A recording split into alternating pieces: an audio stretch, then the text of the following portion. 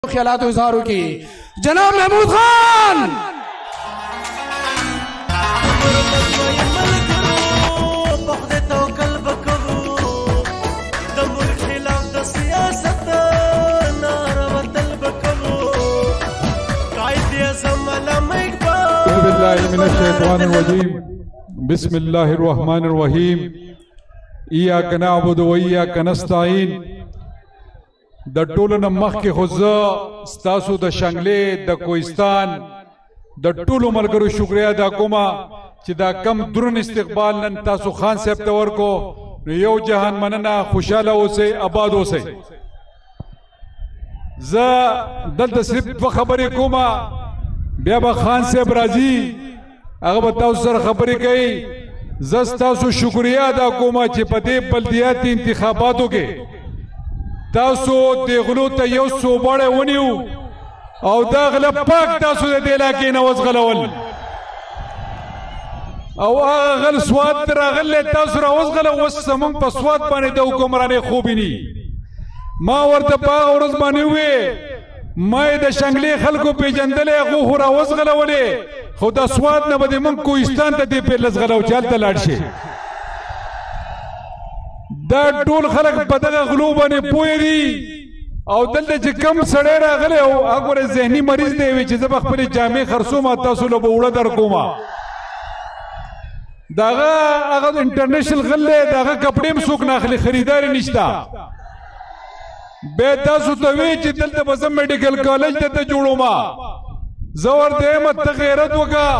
پیسې صوبایي حکومت ته راولېګا دا میډیکل کالج به ورته موږ جوړ کو خو خدای دې تعالی غیرت درکړي غیرت خو د کشتنه چې پښتو غیرت پتا کې وینن به د شنګلې دا حالاتو چې څومره کله ته حکومت کې پاتې شې د هر حکومت ته یې صحیح او ټکر دې په دې شنګل کې نه کړي زه یا اخرنه یو دوه خبرې کوم هغه دا دي چې تاسو له زمو مبارکباد در کوم نن زمونږ د کیبنټ میټینګو شوکت دلته موجود دی داغه خواهش او تاسو خواهشاتو تاسو یونیورسيټي نن موږ د کیبنټ نه منزور کړ د شانګلي یونیورسيټي بل تاسو کاڼه تحصیل چې دی هغه ما سب ډیویژن کو نن هغه هم د کیبینټ نه وشو څومره چې کارونه موږ نه کیږي کې دې چې دا صوبایي حکومت په ستاسو د پاره کوي او ان شاء الله دا علاقه به ګلو ګلزار کیږي او د عمران خان په قیادت کې داغه د ویژن مطابق په دا علاقه ترقی کوي اخره کې زدغه غلو ته ویم د امپورټډ حکومت چې ده او شو مو توې